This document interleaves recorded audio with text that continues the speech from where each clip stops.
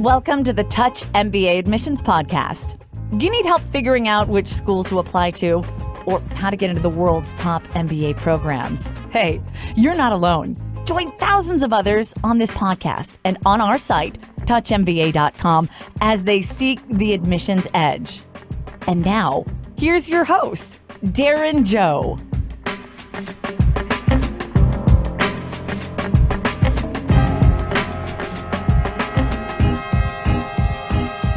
What's up, guys? It's Darren. Welcome to the Touch MBA podcast. I hope you're having an awesome summer uh, wherever you are in the world.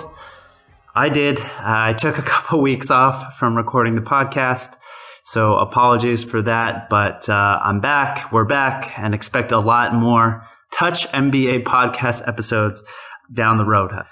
What we do on the show is, you know, talk to admissions directors, talk to students from top business schools around the world to, to really go behind the scenes and uh, learn what makes each MBA program tick, what makes them different. And of course, you know, uh, I try to draw out any lessons you can use uh, in your applications to give yourself a better chance of getting in these schools.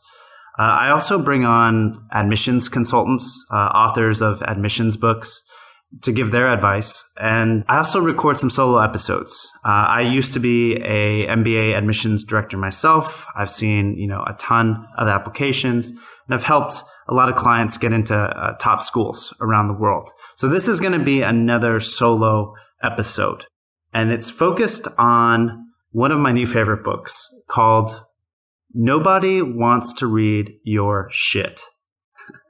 So I think that's the first time I've cursed on the Touch MBA podcast. I hope those of you with kids will forgive me. But uh, the premise of this book and this episode is that we're all bombarded with so much information, things clamoring for our attention, and reading takes time and effort. So if no one wants to read your your shit, what do you need to do to to really stand out? And uh, this book was written by Steven Pressfield, who's the author of 16 books, including The Legend of Bagger Vance, uh, which I believe was turned into a movie starring Will Smith, as well as four to five other books on how to write. So he's written extensively. You know, I love reading books. Uh, I try to read outside the MBA industry to get fresh ideas, but I haven't done a podcast based on a book since episode 51, and that was that episode was called Stalking the Story. And that book was written by two time Pulitzer Prize winner for dramatic nonfiction, Jon Franklin. That podcast and that write up was focused on helping you identify four core elements of great stories. And uh, so be sure to check out that episode, which I'll link to in the show notes. But back on on this book, no one wants to read your your shit. I'm gonna stop saying shit because uh, I just feel uncomfortable doing it. So I'm going to say no one wants to read your stuff. Okay. but uh, go ahead, uh, do yourself a favor and buy this book. It takes like one hour to read. It's a super easy read to soak in. But for this podcast, I'm going to take three concepts uh, from this book. There's many more, but I'm going to take three concepts from this book that you can immediately apply to your MBA uh, story, to your MBA application. Um, and I realized when I was preparing this podcast that I'd been using these principles to help my my consulting clients find their best stories. Um, I didn't quite call them the same things, but I'd definitely been using these principles. So I hope these really help you overcome that attention barrier and that boredom barrier that so many readers and audiences feel these days with so much information. Yes, including your admissions reader, right? Imagine if you have to read thousands of essays. That's a lot of essays, right? So how can you really stand out? Before we jump into these three tips, I just want to make a couple quick announcements about uh, free services that I think many of you could could potentially benefit from at our site touchmba.com. Uh, so the first is that we offer free school selection help. You just need to go to our site touchmba.com, submit your resume, uh, let us know your target schools and your career goals, and we'd be happy to guide you uh, along the way there. Offer you some free expert guidance.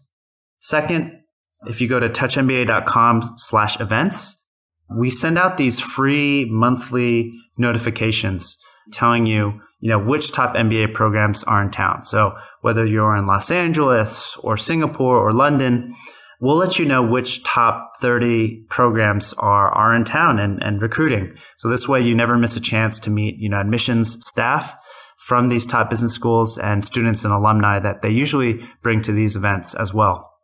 Okay. Third, um, if you want to really get a better idea of what programs are really like and you want to have an honest conversation with, with students at top programs, go head over to ambassadors.touchmba.com. We have over 30 schools represented there by recent alumni or students. You can ask them, you know, your, your, your questions about what the experience is really like. They are the true authorities of the schools. So yeah, we wanted to provide an avenue for you to, to reach out to them. Also, I wanted to give a shout out to our sponsor. When three MBAs struggled with student loans, they knew there had to be a better way, so they created one. Now CommonBond is a leading student lender, saving members up to $13,000 on MBA loans. Learn more at commonbond.co slash touch MBA. It's CommonBond Lending LLC NMLS number 1175900. All right, so no one wants to read your stuff. Uh, no one really wants to read anything. It isn't that people are mean or cruel, they're just busy whether it's your play, your advertisement, your movie, your book, or your MBA application, right? So let's start with tip number one. Every great story has to have a concept. Okay. And by concept, I mean a unique twist, slant, or framing device that makes us look at this story from a specific point of view. In terms of the MBA application, what, what does this mean? Well, this is really a framing challenge. What do you focus your camera lens on? Let me give you an example. Uh, Christopher Nolan, one of my favorite film directors, recently uh, directed a movie called Dunkirk. And Dunkirk occurred during World War II when uh, over 300,000 troops were rescued by ordinary English mariners, right, who sailed across the English Channel and picked up these soldiers who were stranded on the beach in Dunkirk, France.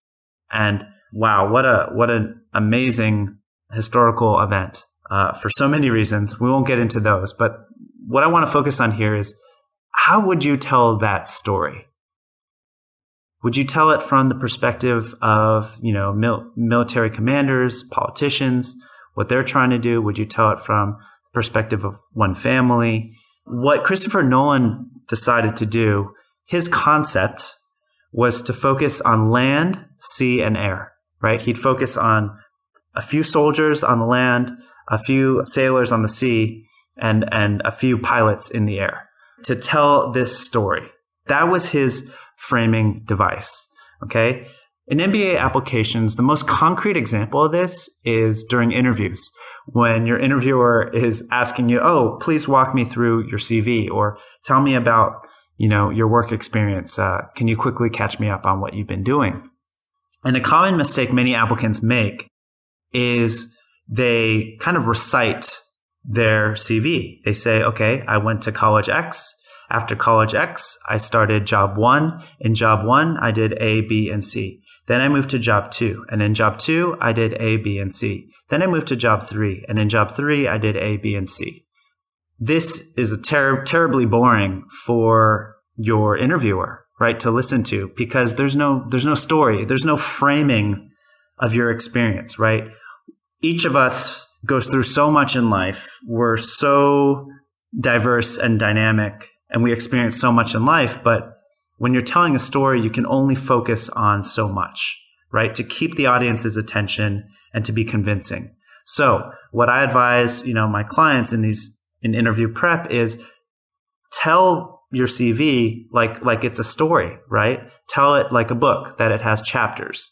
So tell the interviewer why you moved from job 1 to job 2. You know, what was the most amazing thing you did there and how did that lead you to job 3 and what you did in job 3 and how that leads you to say applying uh, for your MBA right? There's a coherence to that story. There's a framing. Uh, other people, it depends on who you're talking to, right? How you frame your CV? Are you framing it from the perspective of you're a marketing specialist? Are you framing it and telling it from a perspective of you always build new things? You always work on teams uh, that are in new spaces, right? So again, your application needs a concept. It needs a framing. What are you choosing to focus your camera lens on? In the movie making industry, uh, they always talk about can your narrative idea be communicated in 10 seconds or less? And as soon as someone hears this idea, can you imagine all the cool scenes?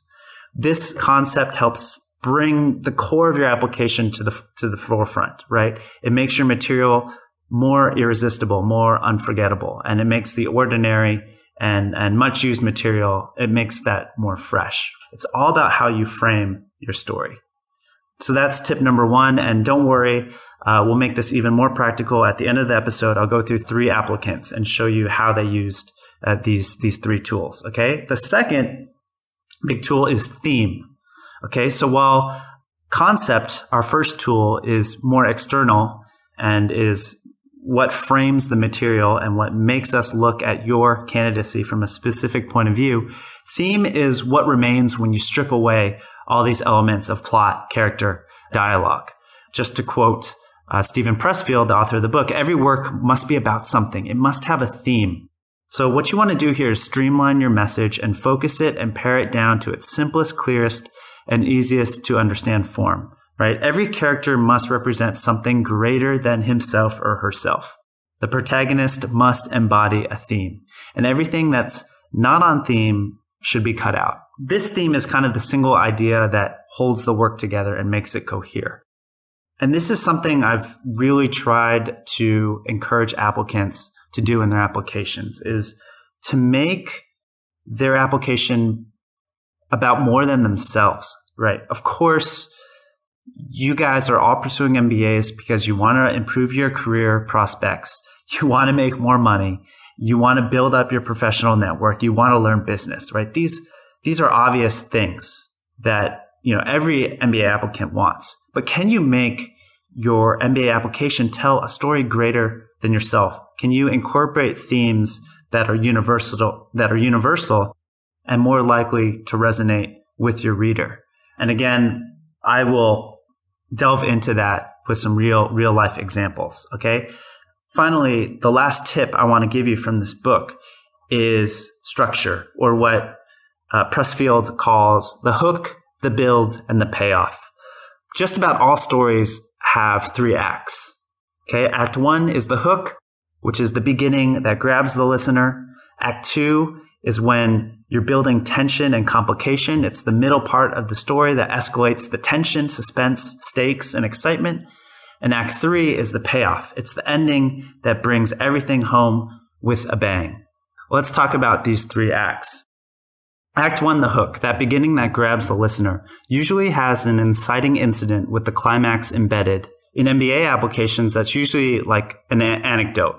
You're setting a scene in your application. And again, I'll, I'll, get to real life examples of that soon.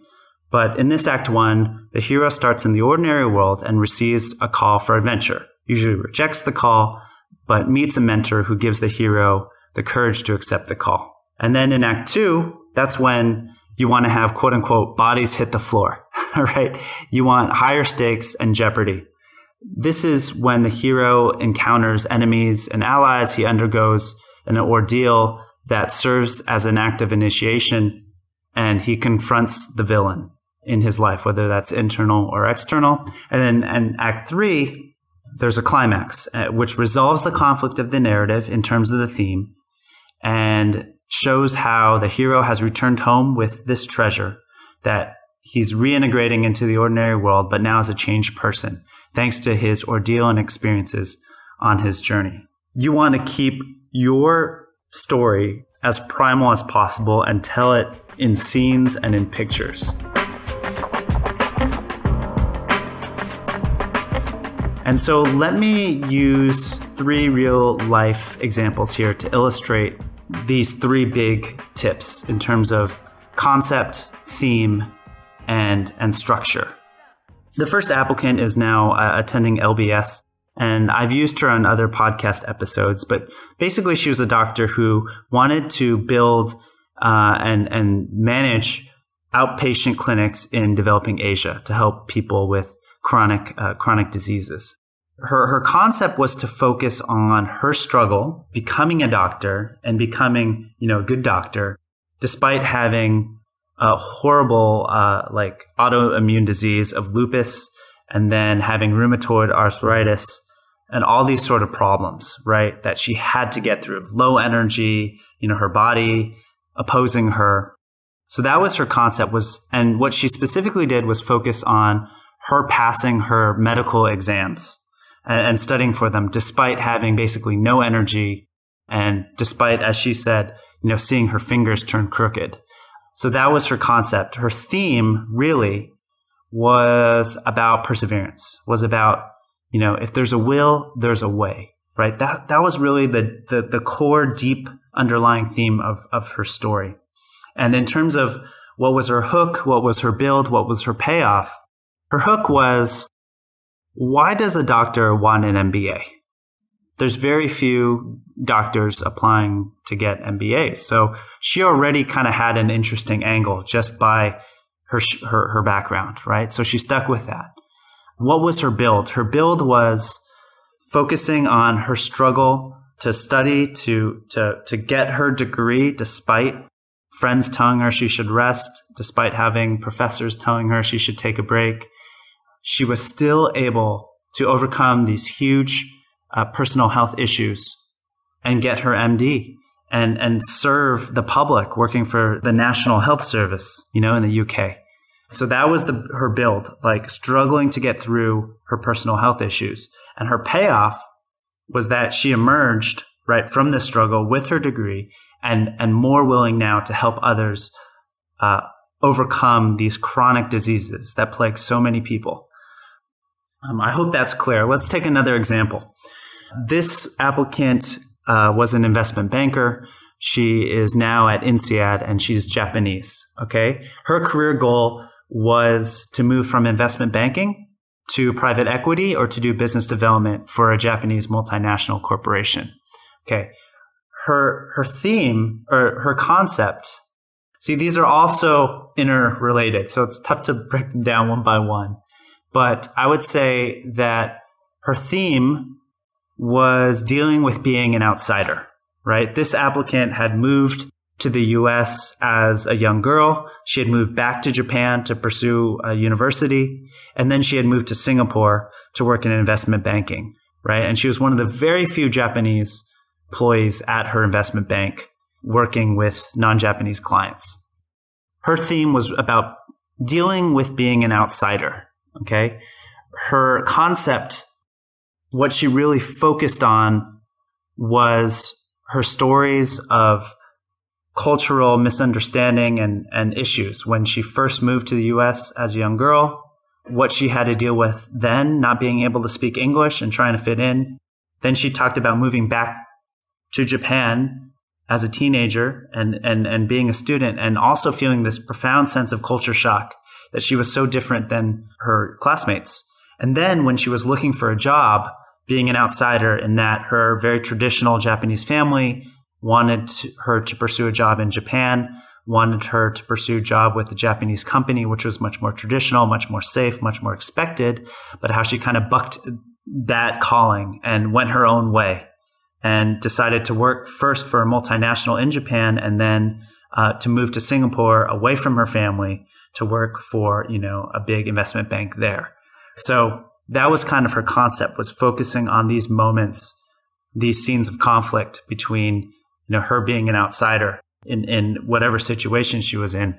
Her hook uh, was that she's one of the few Japanese nationals working for investment bank bank in Singapore. Her build again was her struggle with being an outsider, challenging family norms, and the payoff was about embracing who she is, embracing her experience, and in the end, realizing that she wants to give back to Japan. She wants to help Japan grow, help Japanese companies, and kind of restore the standing and might of the Japanese um, economy. And in doing so, also kind of make her family proud. So she went through this this whole arc of going her own way and resisting you know, what her parents told her to do, what Japanese society told her to do, but now she's back trying to help those those groups. So kind of a, a very nice story uh, told through her essays, her INSEAD essays. And of course, you know, the, the context of that was INSEAD's looking for people who embrace diversity. INSEAD's looking for, you know, very international applicants. So what a great way to, to get that message across too without pounding the reader on the head, right? Uh, saying, oh, I'm a very international person by telling these stories. Uh, the proof is already there. So let me share one more example. This example is of an engineer from Singapore and who is now attending SMU, which is one of the top uh, business schools in Singapore. His career goal was to do project management in the energy or, or tech industry. And his background, if I remember correctly, he was an electrical engineer and he was working at sort of these wafer manufacturing plants, right, for one of the big companies there. So, what was his theme his theme was about fully reaching his potential, right? Which is something we can all relate to. Uh, what was the concept? What did he focus on? What he really focused on was his love of tinkering with things, like how he's the this this consummate engineer, how he loves taking things apart and building them, putting them together, whether that's uh, watches, computers, bikes, and now in his current job, these you know huge twenty to forty million dollar uh, chip making uh, equipments, right? And his concept was that's what he loves to do. And he wants to take that same mindset and apply it to business because he realized that even though he was so good at building things, fixing things, troubleshooting things, he wasn't able to often convince the clients to, to, to do so, to take the right steps. He realized he needed a lot more skills to do that. What was his hook? He started off one of his essays talking about have you ever tried to repair a digital watch?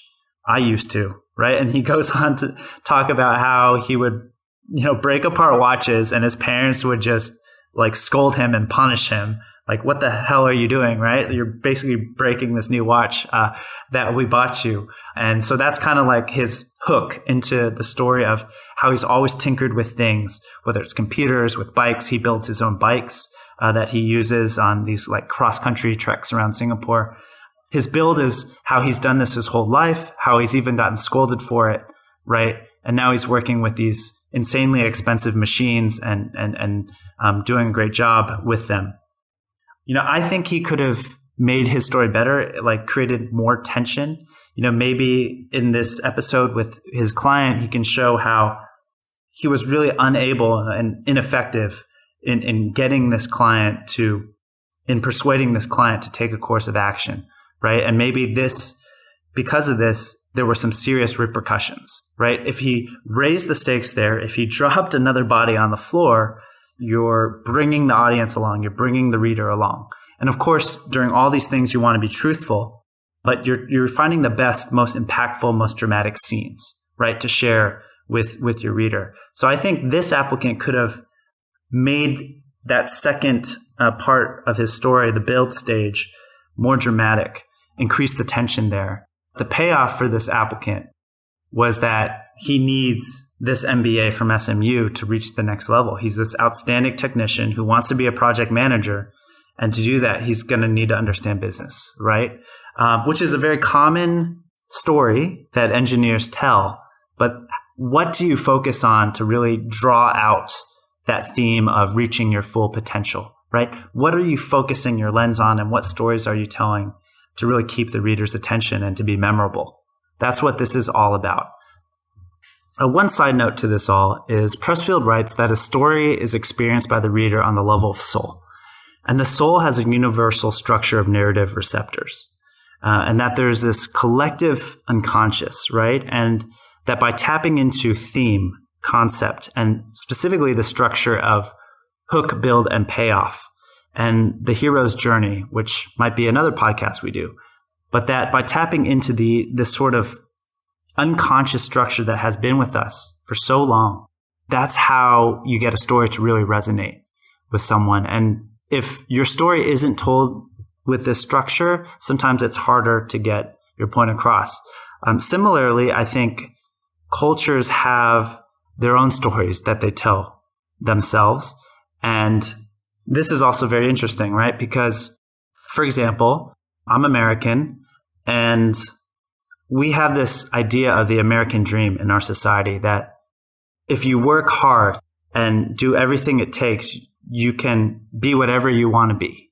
That there's this idea of, of justice in, in our society that you will be rewarded. If you work hard, if you put in the work, and if you commit to something, you can do it. There's this sort of optimism in our society.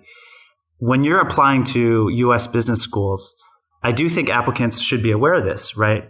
And what I mean specifically is to never be a passive actor in your story. Because this that, that goes against everything we believe in as Americans, right? You don't want to make excuses. For example, you don't want to say, in my current job, you know, I was looking for ways to advance. I was looking for ways to show off my marketing skills, but my superiors didn't give me any chances to do that. So what if your superior didn't give you any opportunities? Well, make them yourself. So you never want to be a passive actor in, in your story to, to US business schools. Uh, this is just something I was thinking about when I was preparing this episode. Um, so, in closing, I want to read a passage from Steven Pressfield's book. When you understand that nobody wants to read your shit, your mind becomes powerfully concentrated. You begin to understand that writing and reading is above all a transaction. The reader donates his time and attention, which are supremely valuable commodities. In return, you, the writer, must give him something worthy of his gift to you. When you understand that nobody wants to read your shit, you develop empathy. You acquire the skill that is indispensable to all artists and entrepreneurs. The ability to switch back and forth in your imagination from your own point of view as a writer, painter, or seller to the point of view of your reader, gallery goer, customer. You learn to ask yourself with every sentence and every phrase, is this interesting? Is it fun or challenging or inventive? Am I giving the reader enough? Is she bored? Is she following where I want to lead her? So I think that's a great summary of the book and this episode. And uh, I hope you got a lot out of it, and we'll see you next week. Thanks for listening to the Touch MBA podcast. Don't be shy. We have a mailing list. Go to touchmba.com and get yourself signed up. And we'll keep you posted with the best tips and insider interviews on how to get into your number one school. You can also find us on Twitter and Facebook at Touch MBA. See you soon.